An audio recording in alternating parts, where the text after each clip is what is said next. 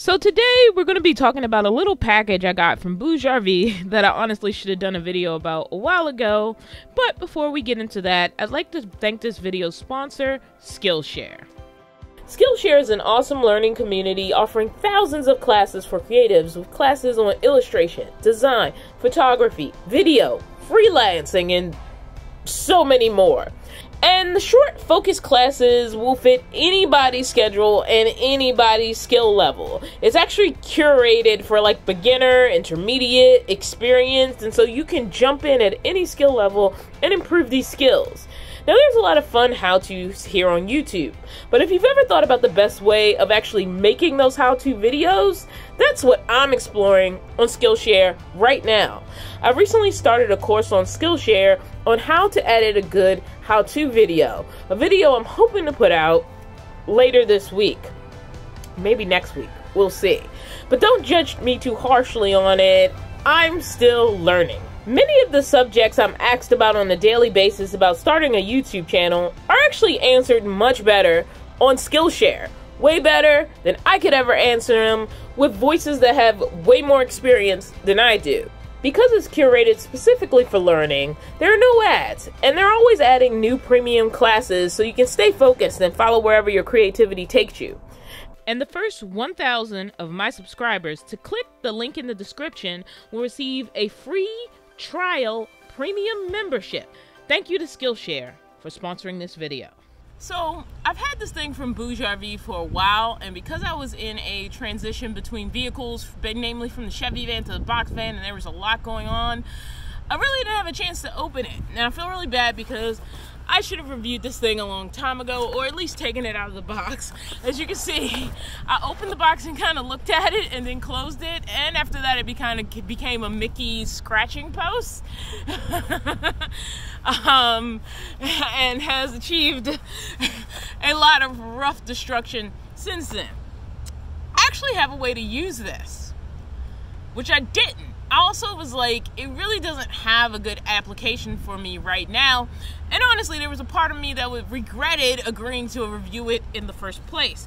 So, probably the title of this video, video, video, video already told you what this is, but I'm gonna show it to you right now. I kind of know what this is, but I never took a hardcore look at it. This is a 20 watt hard solar panel. There's not really a good reason to wire this to anything I already have set up. Like it really wouldn't provide me any benefit. And it's only 20 watts, so it's super small. But it's really nice quality if you do have use for a 20 watt panel.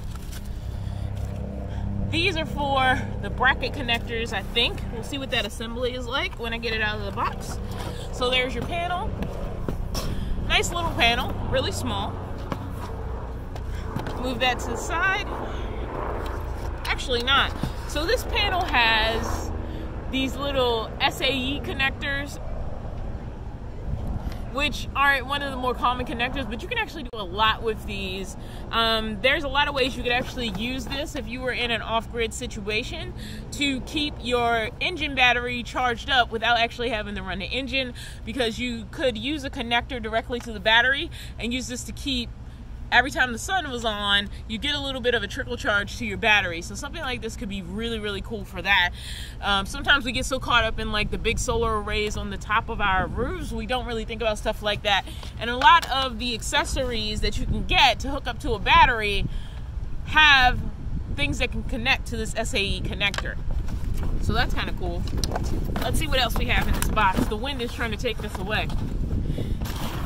So we have our little itty bitty user manual here. Not much in it. Let me see, just, yeah, general information. Doesn't really tell you how to assemble this little assembly here that you need to do. A lot here to do that. So you got like your hardware. Let's not lose this. As you can see, you have a little angle angleable stand, but it doesn't really tell you how to put that stand together. So we're gonna open everything up and see if we can figure it out. Let's put this on top of there. Then you have ways to connect to the battery. Like I said, you could use this to get a trickle charge to your engine battery if you wanted to. So you have a couple of alligator clips. These are actually really nice quality alligator clips. I kind of like them. and they go to an SAE connector so you can just hook this directly up to the panel and then you could connect these directly to your car battery and then use this SAE connector to plug into your panel here. So you have a couple of choices to make that happen. Let's put these back in the bag because the wind is blowing and it will try to blow them away. Now the grand question is, is it fairly obvious how to put this thing together as far as the the angle bracket thing? Ugh. I don't want my trash in there.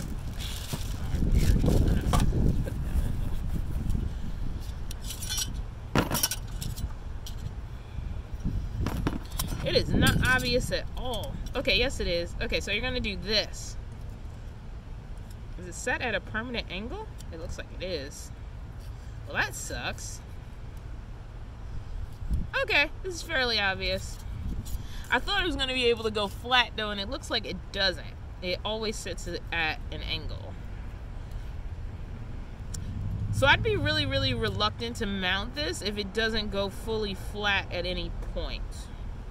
It's just different versions of an angle. Alright, good to know.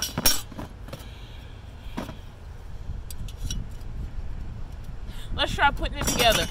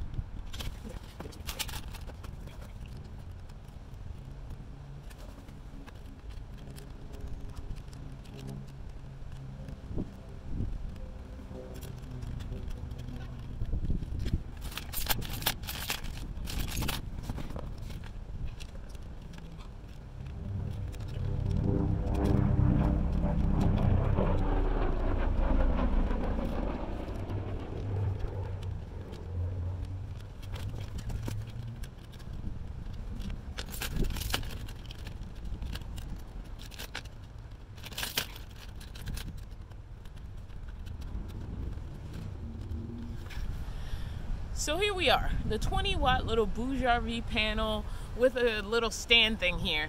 Now in the picture I did assume this was something that could go up and down, but in order to take it not even fully flat, you have to actually take this bolt out and reset it and then screw the bolt back in. There's also additional hardware for a different kind of setup I assume. Um, this looks like something that could like go in drywall or something like that yeah, it's when you'd have to do an inset screw. So you have some extra stuff here. It does come with a little wrench, some washers, and a Allen key that matches the type of bolt that you have. So that's a little panel right there. 20 little watts. But what can we do to test this? Well, there's something else that I bought for the box truck fairly recently because I decided I want to do something kind of different with my battery setup. Didn't originally intend it. At first, I was going to run completely and entirely off of a power station. And what I found, if I can get this solar panel to sit here and not fall, it's good. Um, what I found is that um, that could get kind of annoying when I get to the point of wiring lights and just having my fans always set up. So I said it'd be nice if I had a very, very, very small power bank that was just for my whole household systems. Namely, what I mean is that my lights would always work in the back and my fans would always work in the back. And something that's just dedicated to that, something that's not on all the time, doesn't need to be really, really big. So I went on Amazon and I found me a nice, cheap little. Let's get it out of the box. LifePo battery. Which is going to be an excellent item to use for this little test situation. Let's get them out of the box. And I did need something really, really big. I wasn't trying to have all the power forever. The Jackeries can handle probably the fridges most of the time. I would like a system that I could switch the fridges to sometimes. Um, it can handle, you know, my laptop, all that other kind of stuff. But if I had something that just was always hooked to a house system that was responsible for like the lights and the fan and could handle the fridges on occasion whenever I maybe wanted to just take advantage of the portability of the Jackery or maybe even take it to a friend's house to charge, that would be great. And so I got this 24 amp hour LifePo battery off of Amazon. It was a fairly cheap one. I didn't see a reason to spend a lot of money, but I didn't want to go ahead and get lithium. Eventually, I will have a connection between this and under the hood. That is my long-term plan. But for now, we're just going to use this to test this little panel. Now, I did end up setting up the panel with the battery, but I didn't have the charge controller yet. I had ordered it, it hadn't come, and I was like, you know what? I'm just going to connect it directly to the battery. But the problem is, I cannot tell if this is charging anything. Like, I just can't tell. So it's pretty much a pointless setup. So we're going to circle back to this in my next video, that how-to video I was talking about. And I'm going to use this battery the charge controller that's coming in the mail and this little tiny panel to talk through simple solar in a way I can't when I'm actually installing solar. Um, I'm going to approach it really simple, really elementary, and I hope you guys will be around for that next video. So now it's time for YouTube business. You know, that's the part where I tell you that one, you should watch this video till the end because that actually counts. I know I basically have a credit scroll. A lot of people probably going to cut it off before that's done. But also liking underneath this video and leaving comments and subscribing to the channel. They all help the channel continue to grow. It allows me to exist here on YouTube when you do those things and it it's just important. All that stuff is important to YouTube growth, to the channel growing, uh, to me having more ability to do more things. So if you can just do those simple things, watching videos all the way till the end, liking, if you're not subscribed, hey, subscribe. But if you don't like the channel and you're just not into it, it's okay not to subscribe. Or if you're not quite sure about me yet, it's okay not to subscribe. As always, thank you to my Patreon and YouTube membership supporters. Um, I I don't even know how to spread my appreciation to you to your for your continued support and I look forward to seeing everyone the subscribed, the unsubscribed, the patrons and the non-patrons and the non-membership members and the membership members. I look forward to all of you coming back for that next video. See you soon.